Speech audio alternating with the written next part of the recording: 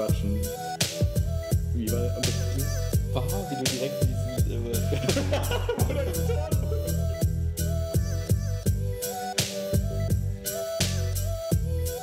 das darf halt nicht passieren, dürfen die einfach alles so komisch sein. Das ist so komisch. Wie war der Untertitel? Memo an uns selbst. Genau. Willkommen zu Wilma Quatschen. Echt jetzt? Es geht los. Geht's los? Es geht los. Okay, ähm, machst du das Intro? Okay, machen wir das mal neu? Nein? Nein, okay, lassen. lassen. Okay, alles klar. Ähm, jetzt sitzen wir richtig. Wir haben den 21. Mai 2018 und äh, wir befinden uns wieder hier bei mir in der Wohnung. Diesmal sind wir cleverer und haben den Laptop nicht neben das Mikro gestellt und deswegen solltet ihr noch weniger Störgeräusche hören und noch mehr von unseren wohltuenden, angenehmen, ein bisschen gruseligen Stimmen hören. Und jetzt ist die Erwartungshaltung an die eigene Stimme einfach viel zu hoch und ich habe Angst weiterzureden. Okay. Der Nee. Frage-Podcast.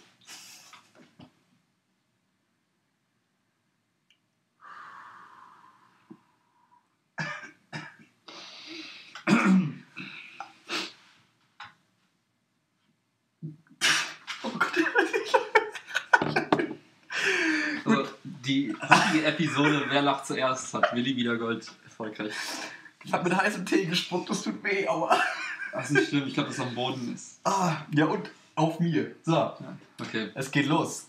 Genau, ähm, wir haben gerade, bevor wir angefangen haben, noch darüber gesprochen, ob wir nicht irgendwie näher recherchieren sollten vor unseren Casts. Und dann habe ich gedacht, oder war meine Sorge, die ich aber extra zurückgehalten habe, bis es jetzt losgeht, war, scheiße, wiederholen wir uns nicht ständig und worüber reden wir eigentlich? Sollten wir nicht da so ein bisschen Linie, Konzept mehr reinbringen oder machen wir weiter einfach Freestyle?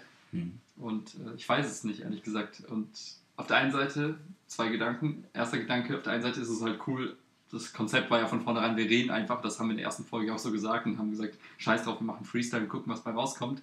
Gleichzeitig ist der Druck jetzt so gigantisch, weil wir jetzt über 100 äh, Aufrufe haben und die Quote ist gigantisch ja, am Steigen.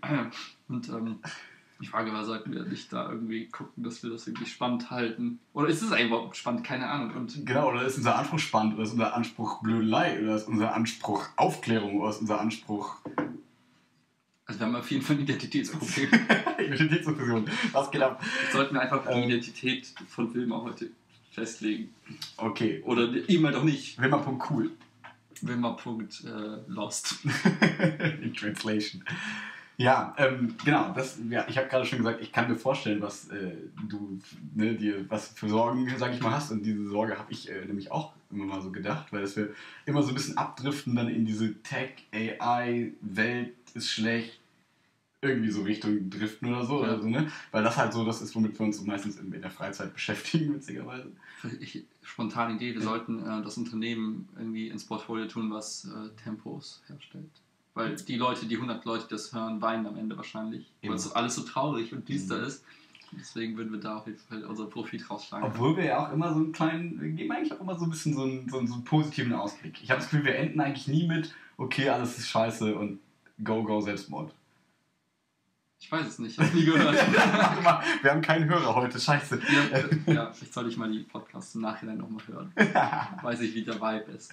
Ja. Nee, aber ähm, ich äh, sehe das auch so. Ich glaube, wir hatten doch Folge 3, glaube Oh, so viele. Ja. Ich glaube, ich glaube Folge 3 war das, ähm, wo wir uns vorher beide quasi ein Thema überlegt hatten, wo wir irgendwie Bock drauf haben, das zu besprechen. Das war bei mir das Sportding. Mm. das ist dann ein bisschen so in deins eingefadet auch, in dein Mm, Thema. mm. Und das fand ich, glaube ich, so eigentlich ganz cool, weil das ist dann mehr als, okay, wir gucken jetzt, wann haben wir einen Termin, also wenn wir wissen, wir haben einen Termin, wo wir uns treffen und zum Podcasten, dann, ähm, achso, nur kurz, also wir machen jetzt übrigens das Konzept Part 2 quasi im Prinzip, damit ihr wisst, was so ein bisschen auf euch zukommt und mal gucken, wo es noch hingeht. Aber Ähm, ich finde, der Titel sollte trotzdem irgendwas mit Identitätsfindung zu tun haben. Das ist ein bisschen catchier als. Konzept Part 2. Ja. okay, okay, Weil die, die okay. Part 1 gehört haben, denken sich, oh, nicht schon wieder die gleiche Okay. Scheiße. Das heißt Identität und Pornos, Und das, das zieht die Klicks. Bron. Porn. Das ist noch ein bisschen ja, also wenn wir quasi einen Termin haben, weil wir uns sehen, dass wir dann quasi uns so ein bisschen Gedanken machen und nur ein, Satz, also ein Wort oder einen Satz aufschreiben. Zum Beispiel, ich habe Bock über, weiß ich nicht, es gibt ja verschiedene Einflüsse, die man hat. Ob es jetzt über, Ich habe mein Thema für heute gerade gefunden. jetzt hast du Druck erzeugt, herzlichen Dank. Also ich glaube, dass wir auch von einem Thema profitieren können. Es reicht, glaube ich, auch wenn einer mit den Stimmen war viel schlimmer. So, aber das, ich glaube, das reicht schon, als wenn wir, weil wenn wir einfach reingehen und sagen, ach, lass mal quatschen, dann geht es, glaube ich, um die gleichen Themen, um die es sich immer dreht. Was auch in das Ordnung schlimm, ist. Ich glaube, genau. Ich. Ich glaube, es ist in Ordnung. Ich glaube, es ist in Ordnung. Es sollte nur nicht fünf Folgen am Stück quasi, dann drehen wir uns im Kreis so. Ja. Aber da wir das Aber vielleicht ist das ganz geil für unsere Selbstreflexion, weil wir dann merken, eigentlich reden wir immer über die gleiche Scheiße und äh, begeilen uns drauf auf. Aber genau da sind wir ja gerade. ja, ja. Dass uns das aufgefallen ist, dass wir irgendwie so ein bisschen uns um die gleichen Dinge drehen und wir gucken, wie wollen wir vielleicht ein bisschen andere Akzente setzen oder vielleicht auch nur aus einem anderen Blickwinkel drauf schauen.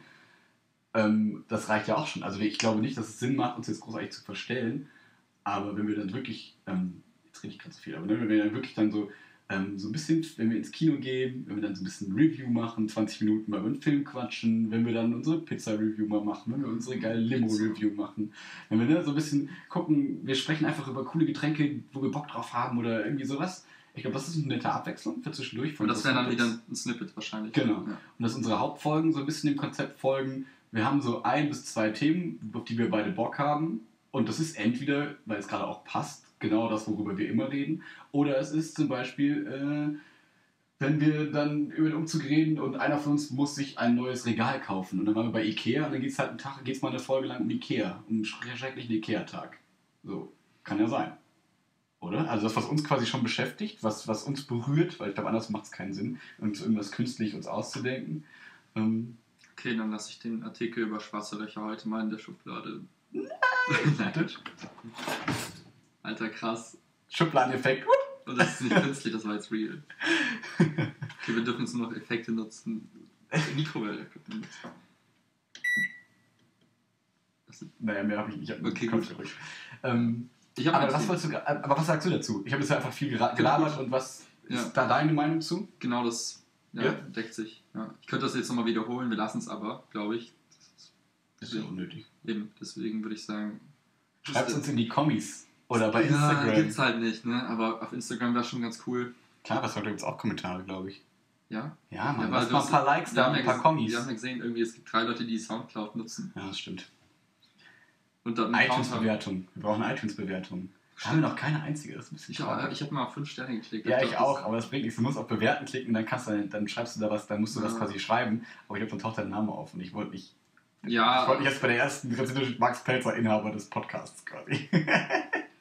Hat gesagt, voll toll, danke. ja, Der hat mir voll geholfen durch schwere Zeiten. kommt noch. Kommt noch. Kommt noch. Ja. Ja. Jedenfalls, nur ganz kurz, Ja. das ist halt spannend, auch, also, ähm, auch wenn es im Kino für drei, vier Hörer ist, äh, ist ja mal gespannt, so was die drei, vier dann davon halten und sagen, ne, macht es Sinn oder macht es keinen Sinn? Wäre interessant, mal so ein bisschen Feedback dazu zu haben. Nicht jetzt, ob das total toll ist, unser Podcast ist scheißegal, aber so thematisch, ob das cool ist oder nicht. So zum Beispiel diese 20-Minuten-Episoden. Die kamen ja nur zustande, weil wir gehört haben, dass das mal eine coole Sache wäre. Ja. ja. Genug gruseliger Ansprache an irgendwelche Hörer, die es nur ein bisschen gibt. Nee, die gibt es ja schon. Aber es gibt noch nicht viele davon. Aber bisher waren die relativ treu alle. Ja. Danke. Oh, ich habe einen Song für die Playlist heute. Troy, Fanta 4. So, du bist dran. Mein, mein Playlist-Song kommt später. Nein, das ist auch nicht meiner. Nicht? Nee. Ja gut, ich habe nämlich auch noch keinen. ähm, ja, dein Thema. mein Thema. Ähm, ich habe so einen typischen Feiertagstag. Moment. Aber nicht so negativ wie sonst immer, sondern eher, bei mir ist es immer so, immer wenn Sonntag ist oder so ein Feiertag, dann ist das immer ganz geil, weil automatisch so dieser, dieser Reflexionsmechanismus über die letzten paar Wochen irgendwie anspringt. Und ähm, deswegen mein Wort für mein Thema, du hast gesagt, eins reicht ja ein Wort, wenn wir das einfach haben, ist monoton. Mm, so wie unser Podcast. Oh. Yay, unsere Stimmlagen. ähm, und was ich damit meine ist, ähm, das ist, ganz, es ist nichts, nichts Wertendes, aber mein Leben ist, verläuft ist relativ monoton im Hinblick auf die Aktivitäten, weil es aktuell nur aus Arbeit und Wohnungssuche, Arbeit und Wohnungssuche Mhm. besteht. Was wiederum in sich selbst irgendwie total spannend und bunt ist. Also Arbeit ist bunt, äh, Wohnungssuche ist total lustig. Also einfach die Tatsache, verschiedene äh, ja, Wohnungen von Fremden auch ständig zu sehen und da mal einen Blick reinzuwerfen, sich inspirieren zu lassen, ist total spannend. Mhm. Aber so, wenn man von oben drauf guckt, ist es immer die gleiche Aktivität. Du suchst was, du guckst es dir an, du arbeitest. Und das ist halt nicht so viel ähm, ja, nicht so- Abwechslung, nicht also einfach von den. Hauptaufgaben. So, Genau, ne? und Mhm. ähm, was, ich, was ich festgestellt habe, ist, dass mich das früher irgendwie kirre gemacht hat. Ich gemerkt habe, so, ah, du brauchst jetzt irgendwie ich muss jetzt irgendwas Cooles machen und dann zwingt man sich zu irgendwelchen pseudo-lustigen Aktivitäten und dass ich aber jetzt irgendwie total entspannt bin und das einfach äh, gut, gut akzeptieren kann, dass es halt jetzt einfach mal für eine Phase einfach genauso ist, ohne Special-Sachen, wo man sich dann nachher irgendwie, weiß ich nicht, große Geschichten zu erzählt, sondern es sind einfach die kleinen Dinge, die dann irgendwie lustig sind. Und ähm, ich, ich fand es einfach nur lustig zu merken, dass es nicht mehr so, sich nicht mehr so schlimm oder falsch anfühlt, wie es mal vor einer Weile war. Wenn ich mir das vor einer Weile zurück habe ich dann gesagt, Was war denn vor der Weile so? Also, wann würdest du sagen? War das dann, war das noch Studium, war das Ausbildung, war das Schule eher? Also was, welchen, Also in jeder? Phase eigentlich immer so ein Okay. bisschen. Also es gab halt Phasen im Studium, Phasen in der Ausbildung, Pha- Phasen in der Schulzeit, wo ich dann so dachte, hm, ist das schon alles irgendwie? Kann nicht noch mehr sein? Und dann Mhm. war immer dieses unendliche, unendliche Optionen, Möglichkeiten und es verläuft alles so, so statisch und immer die gleichen Sachen, die wiederholen sich. Und ich hatte das immer als was Negatives Mhm. empfunden. Und jetzt, gerade heute, hatte ich nochmal so, während der Bahnfahrt habe ich so drüber nachgedacht und dachte mir so, eigentlich ist das gar nicht schlimm, weil ähm, ich würde mir aktuell keinen Gefallen damit tun, wenn ich krampfhaft versuchen würde, irgendwie mein Leben Mhm. cooler zu gestalten. Und cool ist halt immer Fragezeichen, was ist das eigentlich? Aber ne, wenn ich jetzt mal vergleichen würde mit irgendwelchen anderen Leuten, die jetzt gerade in meiner Phase, in meiner Lebensphase sind, die machen vielleicht irgendwelche coolen Reisen aktuell, da touren durch die Welt und sonst, das sieht man ja gerade jetzt zur Sommerzeit ganz häufig. Und ich denke mir, ja, es passt einfach gerade nicht rein, irgendwie einen Urlaub großartig zu machen oder so eine drei Monats Weltreise oder so anzupeilen. Mhm. Obwohl es cool wäre, obwohl ich da auch Bock drauf hätte, aber es passt einfach nicht. Und das ist okay, dass es gerade nicht passt. Und es ist nicht dieses, dieses, dieser, dieses Gefühl von, ich verpasse was oder das, das geht mir was verloren, wenn ich das nicht mache. Und das fand ich irgendwie ganz angenehm, dass es heute mal oder jetzt Mhm. mittlerweile nicht mehr so, so stark ist. Und gleichzeitig denke ich mir, warum eigentlich nicht? Stimmt irgendwas nicht mit mir? Hat sich irgendwas, ist irgendwas verbogen? Ja, Ich, ich habe so ein bisschen das Gefühl, man, man, man strebt immer so ein bisschen nach diesen Säulen, die einem so ein bisschen Halt geben. So nach dem Motto, ne, ich, zum Beispiel, man könnte unsere Podcast-Sessions ja auch so als so eine Art Säule nehmen. So nach dem Motto, okay, einmal die Woche treffen wir uns, das ist so, eine, so ein Ritual jetzt so ein bisschen. Ne? Und solche Rituale geben einem ja meistens irgendwie Halt im Leben. Und man denkt sich, okay, egal was schief läuft, ich weiß, Sonntag treffe ich mich mit Willi und alles zur. Beichte. Zur Beichte, genau. Wilma.beichte. Uh. Oh, Alter. Ohne anfassen. Ja, Quasi. auch mit, mit Jugendschutz Mhm. und so. Mhm. Wir screenen alle Mitarbeiter. Ja, Überall sind Kameras. Wenn irgendwer was Böses tut, gibt es direkt Schellen. Ähm, und auch die, die, der, der Sport und ne, Klettern gehen und Leichtathletik und so, das sind alles so, so Säulen, sage ich mal, die dafür sorgen, dass egal wie, wie, wie chaotisch alles ist, die dafür sorgen, dass man trotzdem noch eine Struktur im Leben so hat. Und jetzt ist es halt so ein Alter mit so 26, ähm, 21, wie alt wollen wir sein? 18? 18, okay. Jung, wir, sind, wir sind süße 18, das ist jetzt gerade der Punkt im Leben, äh, wo man sagt, okay, wir haben irgendwie darauf hingearbeitet, dass, jetzt, dass wir da sind, wo wir sind. Ne? An Job anfangen und irgendwie, man, man weiß einfach, wie, wie man selber so tickt, was einem gut tut. Und das hat sich jetzt so etabliert. Und ich glaube, dass das diese Monotonie ist, Monotonität, Monotonie, ähm, ist, von der du gerade gesprochen hast. Und irgendwie hat man darauf hingearbeitet, mit, mit Ups und Downs und wo man dann mal kirre war und man nicht kirre war, weil man irgendwie dachte, man muss irgendwie mehr erreichen. Und jetzt irgendwie so, ja okay, ich könnte jetzt auch Energie reinstecken, um mehr zu erreichen. Ich könnte sagen, okay, fuck it, ich äh, schmeiß meinen Job, bringe Chaos rein, aber vielleicht auch Coolness, dadurch, dass ich dann sage, ich, ich gehe jetzt reisen, ich mache das und das. Aber bin ich quasi bereit, den Komfort, den, das, was ich mir jetzt erarbeitet habe, aufzugeben, dafür, dass es vielleicht eventuell cooler sein könnte. Und da merke ich so für mich, dass ich dann immer zu diesem Punkt komme und sage, nee, es ist mir nicht wert. Ich bin das Risiko gerade nicht bereit einzugehen. Vielleicht irgendwann mal wieder, vielleicht auch nicht. Was ich aber auch finde, und das ist die Erkenntnis, kam auch vor kurzem irgendwie, ähm, durch das Ausprobieren ähm, verschiedener, verschiedener ich sag mal, äh, Auslastungsgrade eine, eine, also meiner selbst irgendwo, habe ich auch festgestellt, wenn ich zu viel irgendwie gleichzeitig mir auflade, dann funktioniert gar nichts so richtig gut. Und da die Balance zu finden zwischen wie monoton, wie langweilig in Anführungszeichen darf das Leben sein oder soll es, muss es auch sein, damit irgendwie diese Säulen, von denen du gesprochen hast, damit die gut funktionieren. Ähm, ich weiß nicht, ob das damit zusammenhängt, dass man einfach selbst irgendwie, dass ich selbst jetzt sage, okay, mein Anspruch ist ein bisschen kleiner geworden, aber ich glaube eher, dass es eher realistisch ist, mir selbst irgendwie einzugestehen und zu sagen, okay, es bringt halt nichts, einfach äh, weiß nicht, 60, 80 Stunden zu arbeiten die Woche, dann noch krampfhaft zu versuchen, ähm, mich im Fitnessstudio jetzt irgendwie kaputt zu machen, im positiven Sinne. Mhm. Dann weiterzubilden mit Büchern zu Hause, Genau, am dann besten noch- dann noch noch- geil essen und Genau, so. Ne? drei, dann pro Monat nochmal vier Bücher rein zu verschlingen und dann irgendwie jeden Tag mein Kalorieziel genau zu treffen Mhm. und dann noch der perfekte Freund zu sein und dann noch äh, für die Familie da zu sein und den Freundeskreis zu bespaßen und dann noch in jeden, irgendwie einen schönen Urlaub. Und ich mag deine Priorisierung. Also die war jetzt die war komplett willkürlich gewählt. Natürlich war sie wirklich. Ja, aber so, eigentlich aber vielleicht auch nicht ganz willkürlich, sondern eher vom Zeitfaktor her. Mhm. Das eine schluckt am meisten und dann waren es halt die Dinge, die irgendwie am wenigsten Zeit abbekommen oder Mhm. einfach, ja, äh, ja, so, scheiße. Nein, aber Nein, nein, klar. ähm, was ich sagen wollte ist, wenn man sich das, wenn man, also wenn ich habe gemerkt, wenn ich versuche alles irgendwie aufrechtzuerhalten, dann bin ich total fragil, weil dann habe ich keinen Puffer mehr. Mhm. Und wenn dann einmal irgendwas nicht klappt, dann bricht die Säule halt super abrupt weg, weil der Anspruch an die Säule so, so krass hoch ist. Wenn du zum Beispiel sagst, ich muss viermal ins Fitnessstudio gehen pro Woche und das ist dein, sag mal, dein Minimum, was du dir setzt und dann schaffst du die vier nicht, dann Mhm. lebst du einen ständigen Enttäuschungsloop. Mhm. Und wenn du das bei allen Sachen so hoch spannst, so nach dem Motto, ich muss jetzt irgendwie einmal die Woche super krass irgendwas kochen für, für Freunde, Familie, mich selbst oder sonst wen, oder ich muss die alle sehen, oder ich muss, weiß ich, der Freundin jedes Mal irgendwie so ein krasses Date organisieren und das mindestens einmal im Monat, Mhm. dann bist du halt ständig nur in Negativsituationen, weil irgendwann mal kriegst du es nicht gebacken. Deswegen, um da jetzt wieder so einen Positivloop reinzubringen, ein bisschen weniger, auch die Monotonie irgendwie akzeptieren für einen Moment und ähm, die Sachen, die dann halt bleiben, in Anführungszeichen, oder die es dann halt sind für diese Phase, da sind ja ein paar Sachen weggefallen, Mhm. auch bewusst einfach so wegfallen zu lassen und nicht hinterher zu trauen und sagen, "Hm, jetzt kann ich nicht so oft ins Fitnessstudio und meine Ich ich bin das schlechte Gewissen von dir, Ja. dass du nicht mehr klettern kommst. ja, ne, aber das Ja, sind einfach die Dinge, wo ich sagen würde, klar, ich kann Ja. jetzt sagen, ich gehe jetzt heute noch mitklettern. Ja.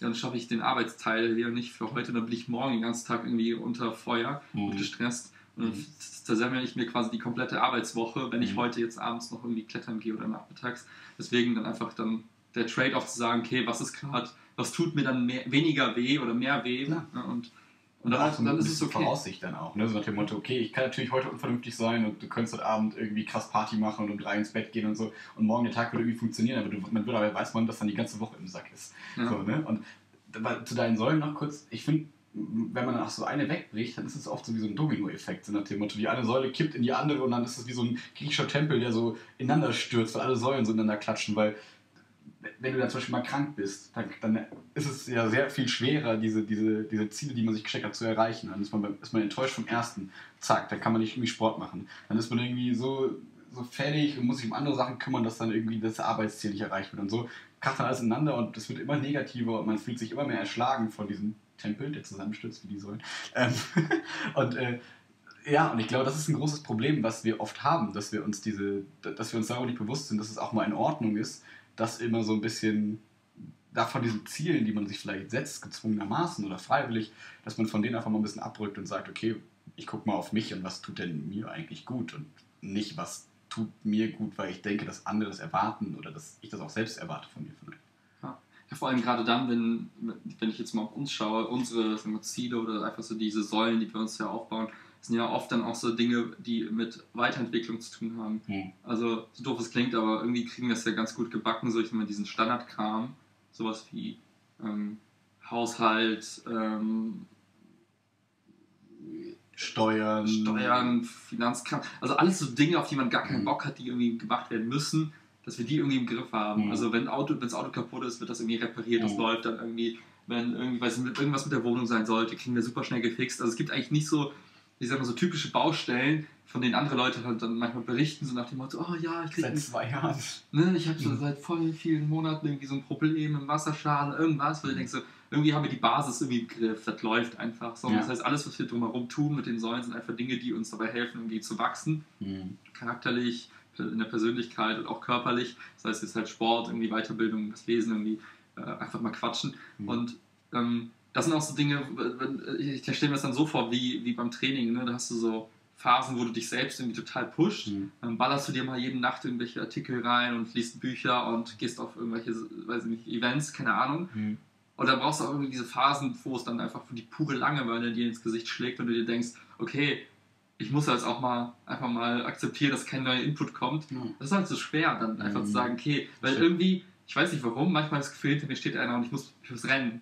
Ja, und, und dann einfach diese Rastlosigkeit, die, die, die kann ich irgendwie besser steuern im Moment. Ja. Das ist das, was mich irgendwie ganz, ganz happy macht, im Vergleich zu vor ein paar Monaten, Jahren, wo ich das nicht abschalten konnte, wo ich dann immer das Gefühl hatte, jede Sekunde, wo ich nicht irgendwas tue, was mich irgendwie fordert, nach vorne bringt, ist verschwendet. Ja, und das finde ich, finde ich cool, dass du jetzt so sprechen kannst, weil ich weiß noch, wie wir vor, keine Ahnung, drei, vier Jahren oder so im Auto saßen in, äh, in St. Augustin vor der Wohnung und wir genau darüber gesprochen haben, dass du gesagt hast, ne, ich habe da irgendwie, da ist doch so, da muss doch ein Ziel sein, da ist doch irgendwie, muss doch irgendwo hin und so. Und dieses, genau dieses Rastlose. Und ich glaube, dass das viele Leute haben. Und ich glaube, dass das ein großes Problem ist. Ich habe da irgendwie Glück, also ich glaube, das ist nicht irgendwie jetzt, ich habe, glaube ich, nicht erarbeitet, sondern ich glaube, ich bin vom Typ her einfach nicht so, dass ich da so mir immer so Ziele setzen muss, sondern bei mir ist es eher so, dass ich eher so im Moment verharre und mir dann eher, eher Energie da reinstecken muss, dann doch was zu tun. So. Und deswegen baue ich mir diese Säulen auf, damit ich so Verpflichtungen habe. So nach dem Motto, ne, das Mittwochs zum Leichtathletik gehe ich immer hin, egal was passiert. So.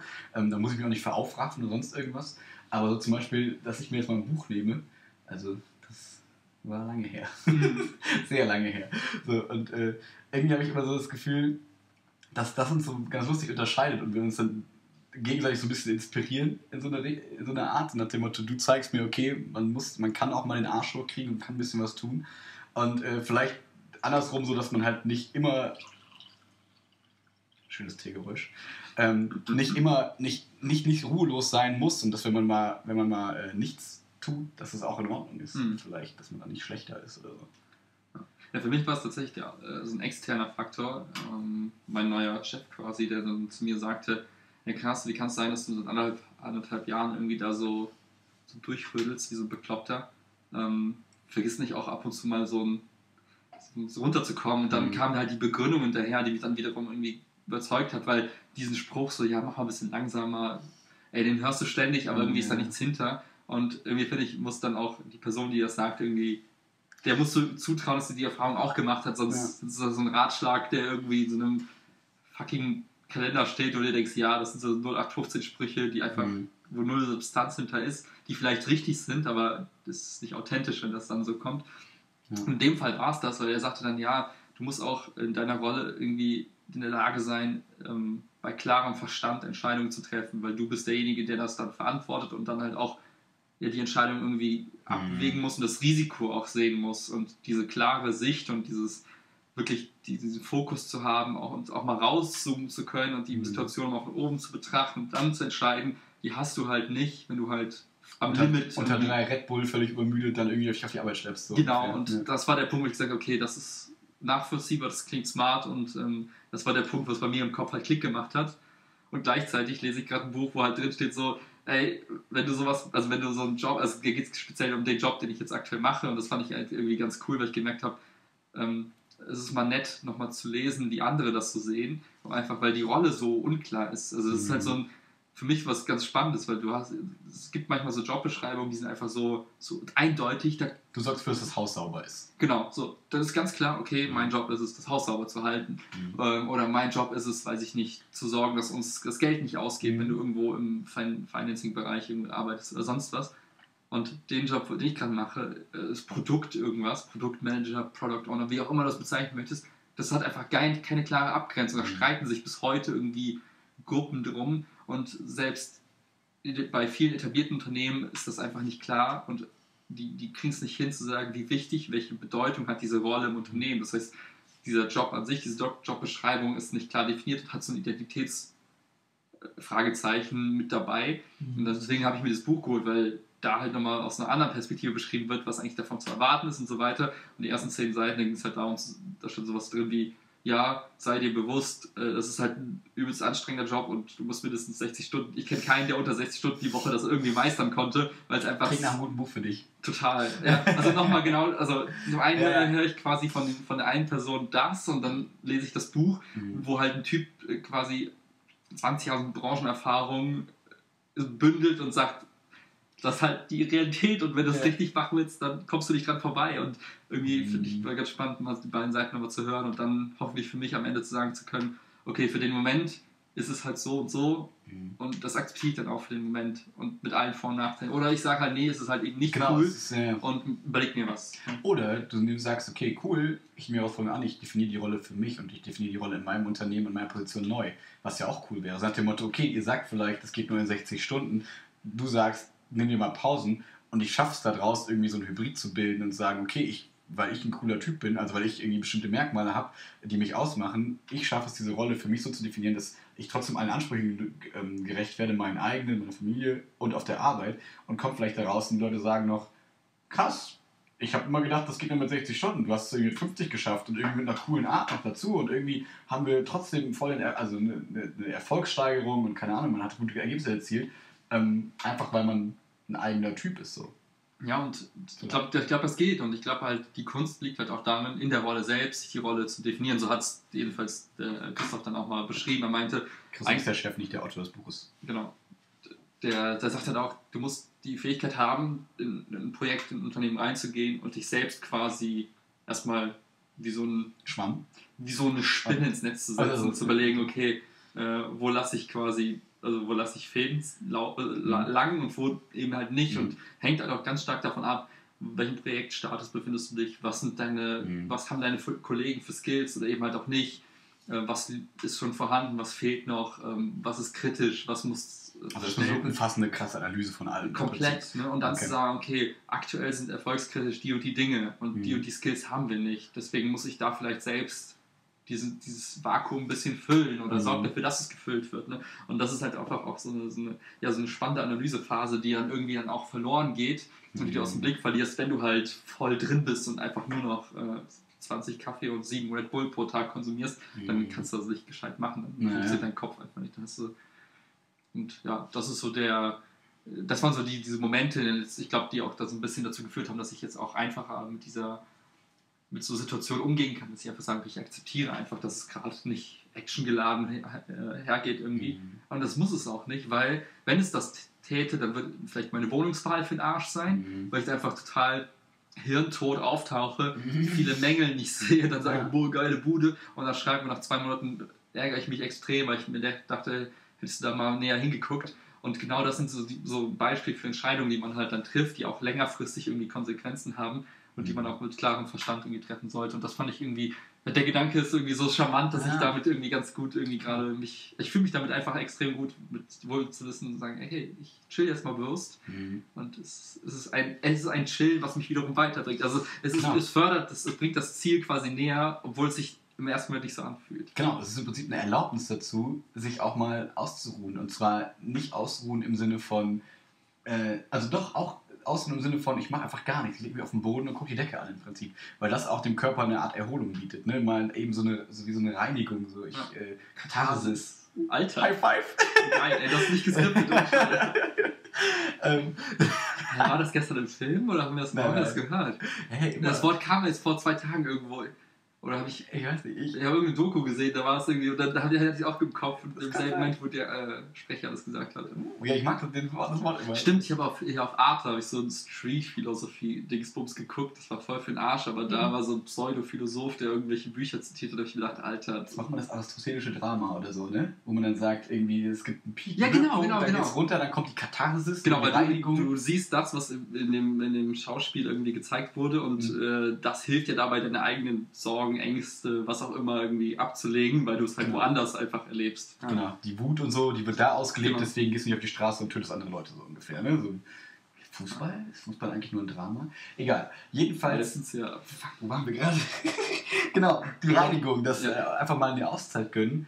Und ähm, ich finde das halt total schön, dass es so eine Art Erlaubnis dafür ist, weil man ja sonst immer so jetzt in der heutigen Zeit dieses, du musst was schaffen, ne? du musst vorankommen und so weiter und so fort. Und das sagt eben, okay, aber bei, das kannst du machen. Das Spiel ist lang, ja. Genau, Genau. genau, genau. Gönn dir mal eine Auszeit, weil sonst kackst du ab, wie, wie beim Ausdauerlauf. Ja, wie Du beim Fußball, nicht, ne? wenn genau. du jetzt in den ersten 10 Minuten Ja. nur rumsprintest wie bekloppt und läufst den Ball hinterher, dann ist in der zweiten Halbzeit hast du keine Chance mehr und das andere Genau. Team macht dich halt platt. Da sind wir bei, wie bei den, über- bei diesen Juristen, über die wir uns immer wieder aufregen, so nach dem Motto, die, die, also wo es dann so Beispiele gibt, die dann sagen, okay, ich arbeite jetzt fünf Jahre mein Leben weg, so ungefähr, ich habe keine sozialen Kontakte, ich wohne in der Kanzlei und so, verdiene massig Cash und danach mache ich mir ein schönes Leben, wo man sich denkt, naja, aber vielleicht bist du danach so zerstört und so am Arsch, dass das schöne Leben danach kein schönes Leben mehr ist. So, ne? Und genau so sollte man das Leben, finde ich, eben nicht sehen, sondern eher so sehen, so nach dem Motto, okay, Ein endlos langer Marathon und du musst einfach.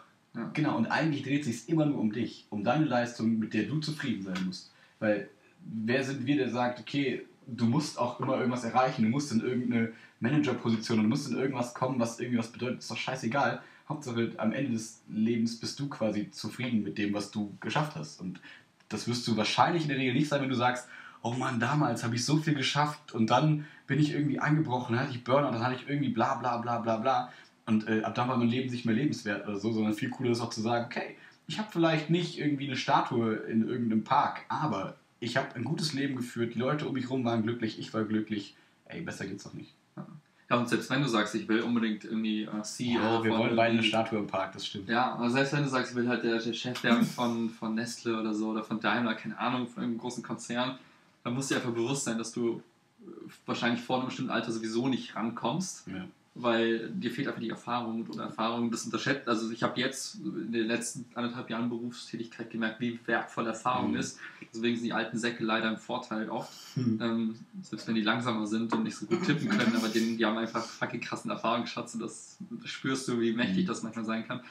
Und dort kommst du halt auch nur hin, wenn du diese, sag mal, 30 Jahre Karriere irgendwie erstmal überlebst. Um, also selbst wenn du das zum Ziel hast, musst, darfst du halt nicht naiv denken, in fünf Jahren bin ich dort, weil Mhm. das einfach unrealistisch und unwahrscheinlich ist. Und wenn du dann ganz analytisch Kalk Kalkül aufstellst, dann merkst du halt auch, okay, fuck, ich muss 30 Jahre gut performen und gut performen kannst du halt auch einfach nur, wenn du auf dich selbst achtest, viel schläfst, dich gesund ernährst, Sport machst, deinen Mhm. sozialen Kreis irgendwie ähm, am Leben hältst. Und ich glaube, diese, dieser, dieser Trade-off zu sagen, ich mache fünf Jahre nichts, das, Mhm. das denken viele Studenten, die gerade in dieser Phase sind und sich denken, hey, danach mache ich Instagram Travel Lifestyle. Mhm. Ja, und meistens kommt es halt, wie du sagst, gar nicht dazu, weil du nach fünf Jahren einfach so einfach so komisch in, in der Selbstwahrnehmung bist. Du, also ver, verlierst, äh, du verlernst einfach auch gewisse Dinge. Sei es das Leben zu genießen, mit Freunden irgendwas Spaß zu haben, auf dich selbst zu achten. Und da musst du das erstmal wieder beibringen. Und ich glaube, das Genau. wird echt eine lange Strecke nochmal. Ich glaube, du verlernst das. Das, was wir quasi so wichtig ist in der Schule lernen, und zwar nicht irgendwelche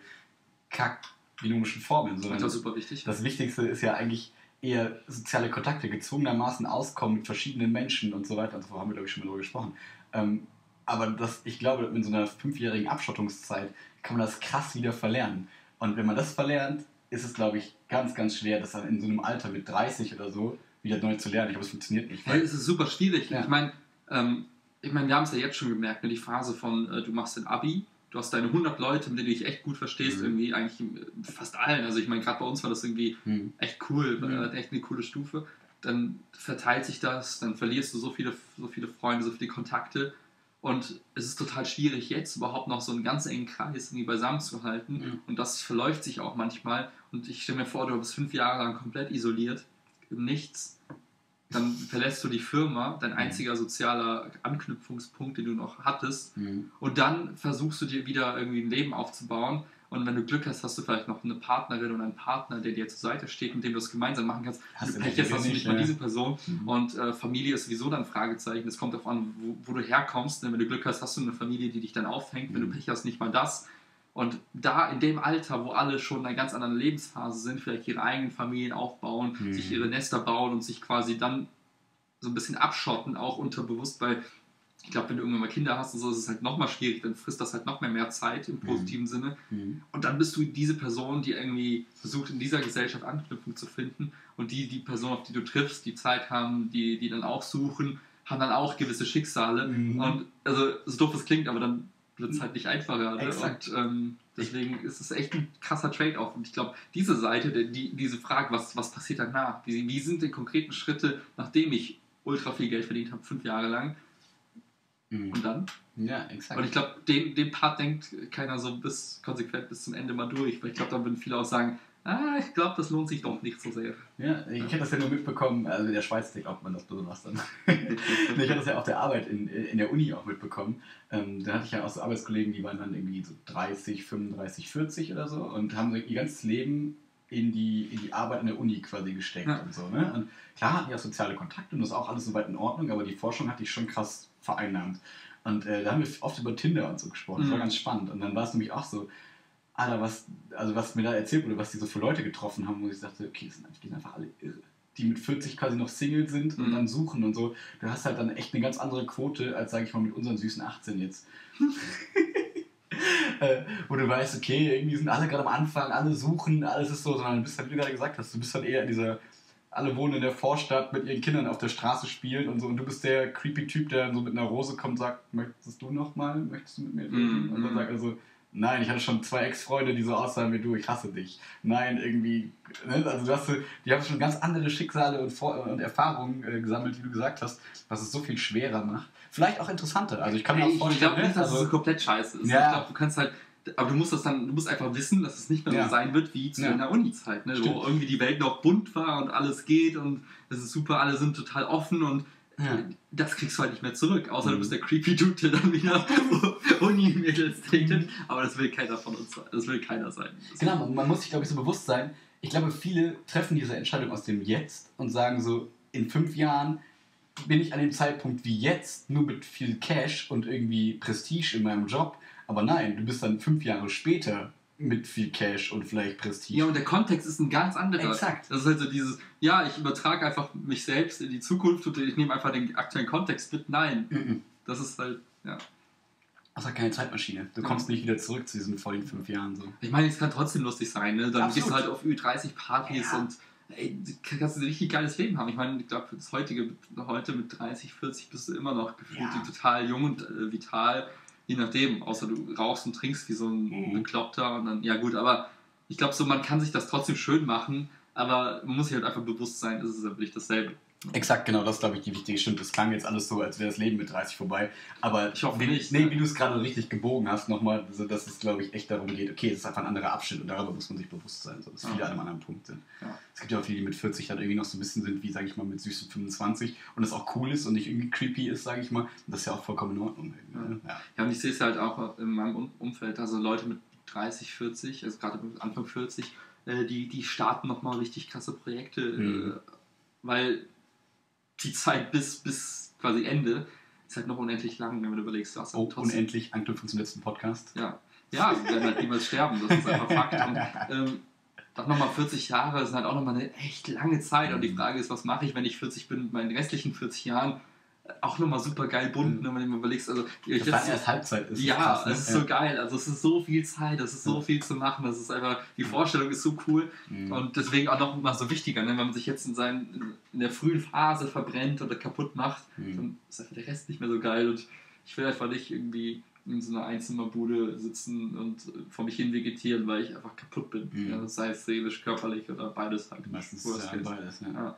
Ja, wie- ich finde diese Vorstellung auch so frisch und nett. Irgendwie dieses, nicht dieses, okay, mit 40 ist das Leben eh vorbei und ich habe Angst vor meinem Geburtstag, sondern eher mal so zu denken, okay, krass, Mann, dann ist erst Halbzeit. Und irgendwie reden immer alle so, als wäre dann, als wäre dann alles vorbei. Aber eigentlich ist es voll geil und ich freue mich jetzt schon irgendwie so ein bisschen auf dieses Rentenalter, so mit 67, 63, was ist es? 67? 67. Wahrscheinlich bei uns mit 75. Wahrscheinlich mit 75, aber dann sind wir ja krasse Skater-Opas.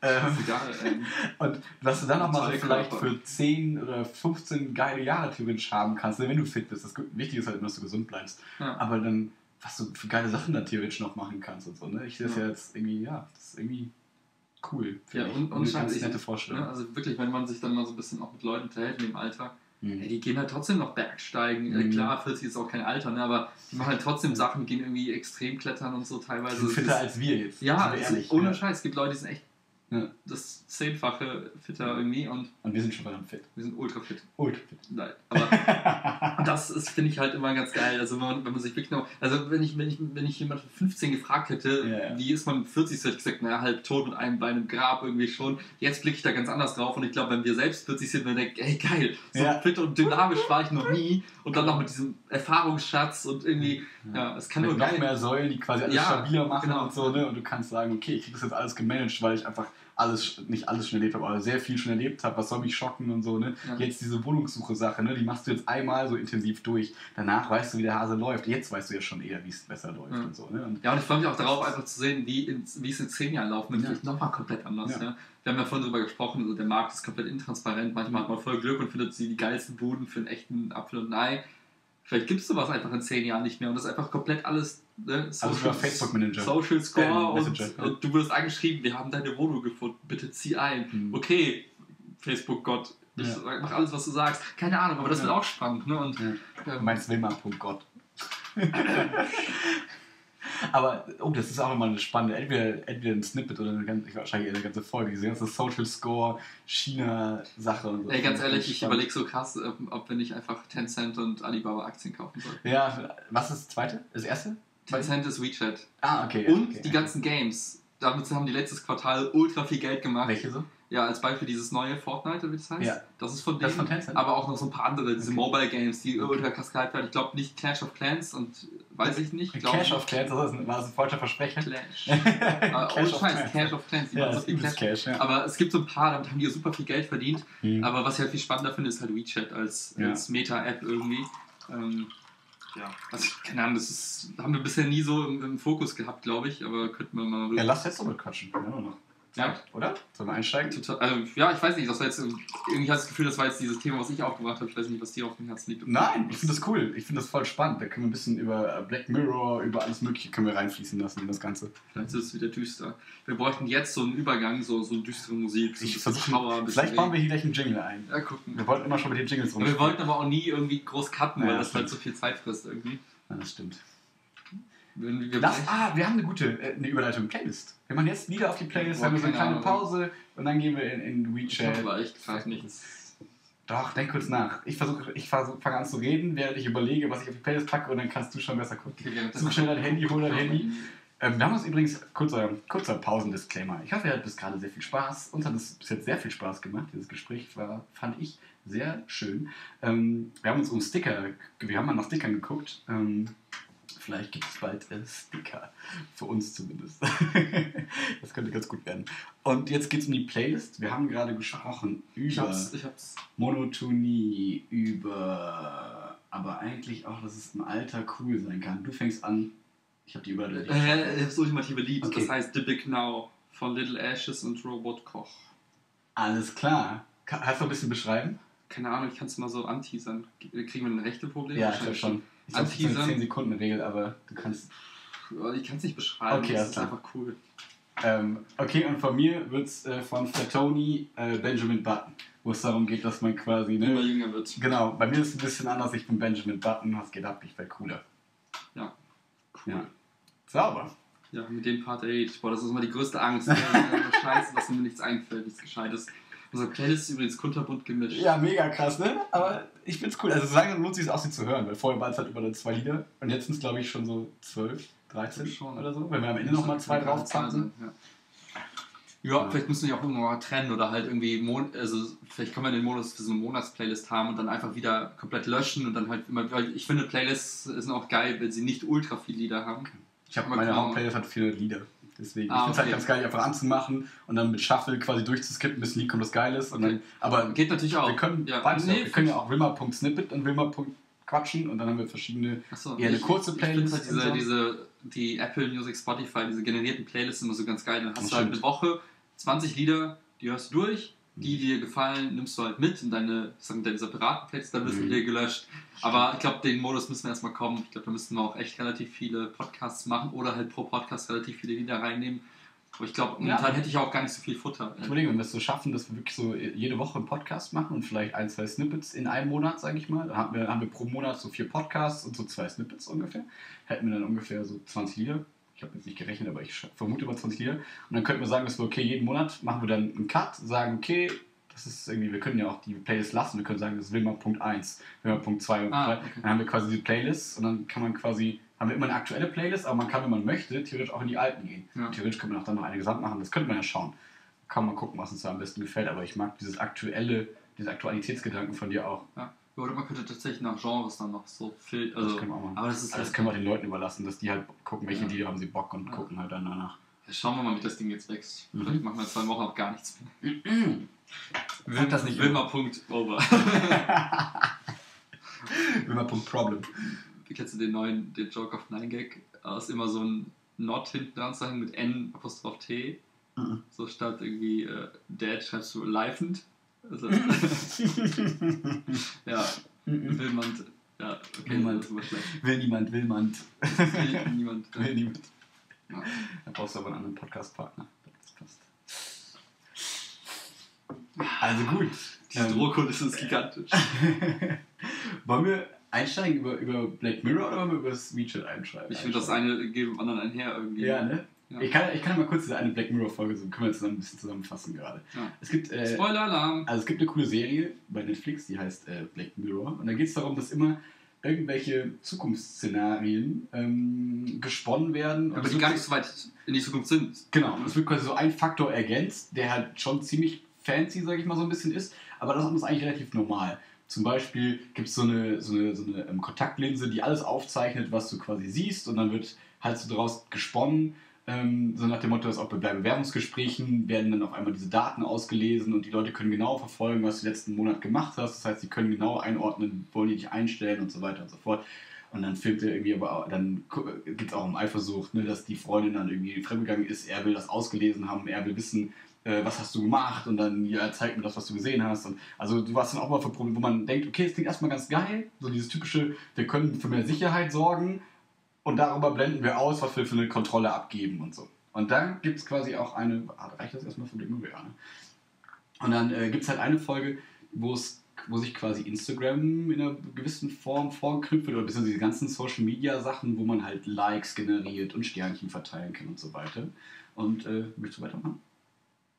Achso, und ja, und Ich das, nur, das du auch was Nee, alles gut. Ähm, das endet halt damit, dass du ähm, als Mensch halt irgendwie den ganzen Tag irgendwie nur versuchst, ähm, möglichst positive Bewertungen von deinen Mitmenschen zu bekommen.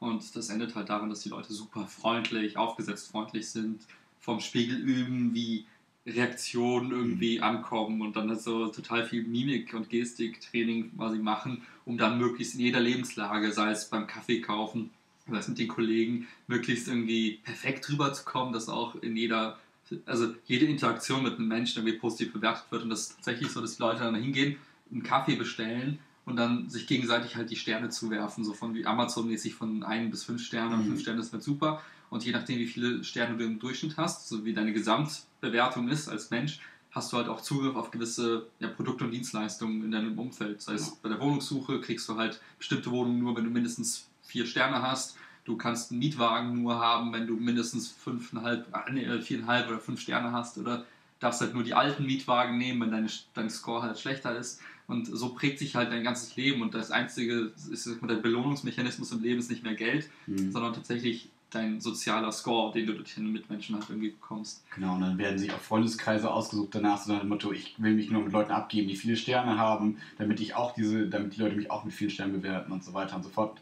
Das heißt, es ist quasi ein ganzes soziales Gesellschaftssystem wird darauf ausgelegt, sich gegenseitig zu kontrollieren und zu raten. Im Prinzip ist jedes, alles, was du machst, wird geratet und dadurch entsteht so eine Art Regulation durch die einzelnen Menschen. Das heißt, du brauchst im Prinzip bräuchst du keine Polizei mehr, weil wenn du jetzt, sag ich mal, irgendwo einbrichst und die Leute finden raus, wer es ist, dann würdest du 20 Negativbewertungen bekommen oder so und dann weißt du, okay, dein Leben ist eigentlich auch nicht mehr lebenswert. Du bist eigentlich im Sack und deswegen musst du dich benehmen. Das heißt, eigentlich ist es ganz smart, als Regierung, sag ich mal, so ein, so ein selbstregulierendes System geschaffen zu haben. Und genau das ist gerade so ein bisschen ja im Gange in äh, China.